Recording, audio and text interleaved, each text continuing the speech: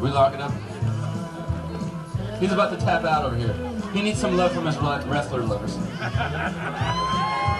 Come on! Pete's almost done with.